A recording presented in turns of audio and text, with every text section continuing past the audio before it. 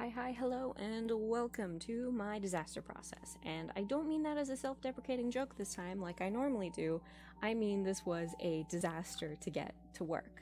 It, footage was lost, computer's a mess, it's asthmatic, it's wheezing, it's on its last leg. I don't know if this will pick it up because Windows Movie Maker most certainly did when I tried the narration option, but I digress. I'll explain it better in the description if you want to read that. I don't know why you would, but I don't know. so yeah, I did like two sketches in this one because I really wanted the pose to be more fluid because in the first piece she's very stiff and she's just looking straight at the camera. It's just a very basic.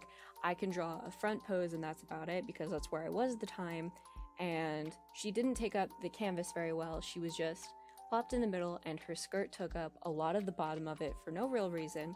So this time I wanted it to be more fluid. I have her kind of bent, she's looking to the side, and her skirt actually follows some like wind pattern or something, I guess. I don't know what's affecting it, but it still looks nice, I guess.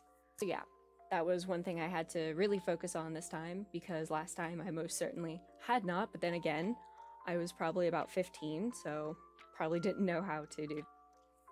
Uh, and I just uh, laid down a bunch of like details this time that I didn't do the last time, like seams and uh, hand wrinkles and just a bunch of different things that I hadn't thought to the initial uh, drawing because again I was like 15 and I didn't draw digitally a lot. It was like my first ever digital piece and I was mainly a pen and paper kind of gal, so I didn't do it very frequently.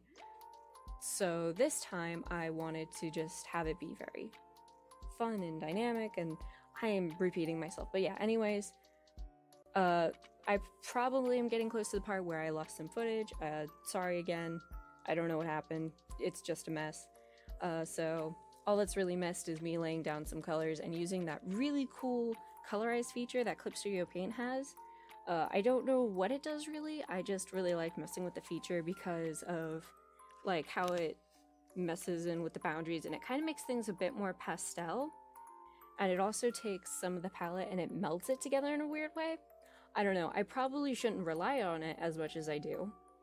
Uh, so I will throughout the like the year use it less and less because since I've discovered the tool, I've used it way too often.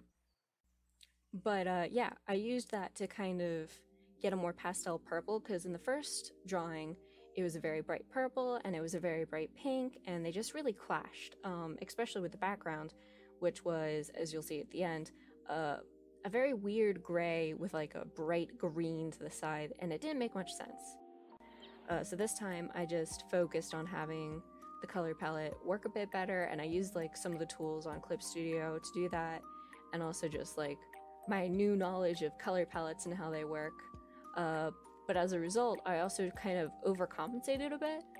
Because, uh, like, if you'll notice, the um, shoulder poofs and the bracelets and the belt are currently like a bluish shade. And in the first drawing, they were like a yellow, like a dandelion yellow or something, maybe a golden yellow, I don't know. And I thought when I was redrawing it that, oh, it'd be really fun to have it like work better with the color palette, have it be like a blue shade or something.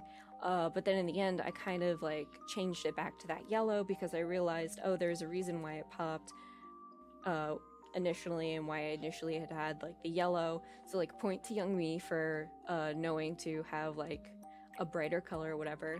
I mean, I guess the bright green of the cauldron does that, but like something about the witch girl just needed that pop of color that wasn't there before uh, especially with the background, which even though it does have like those hints of like the gray and the blue green from before, they're kind of blurred out and they're like very um, light tones that I put a dark overlay layer on, along with a blur effect, so it's just kind of out in the background and very indistinct.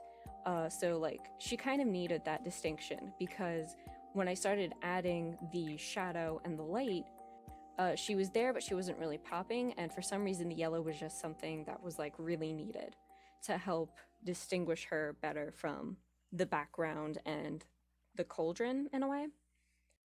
Uh, but yeah, uh, when I first started the lighting, I just wanted to do the under the chin kind of fun lighting effect because I hadn't done any lighting. I hadn't messed around with it at all in the first piece. And part of that is because when I did the first piece, uh, I didn't really know how to. If you'll look, her face isn't even shaded from like her hair around her face. And like, there's not even that much of a difference between like her chin and her neck. It's just kind of the minimal amount of shading di- like needed to differentiate the two. So I just really played around with lighting, and I might have done too much. I could argue that, but I thought it was fun to do the under chin lighting and then eventually like the blue side lighting that I did later. Which the blue lighting was completely ad libbed. Uh, that's like with a lot of my things, I never really plan what I'm gonna do. I just kind of uh, do it as I go, which isn't probably the best, but either way.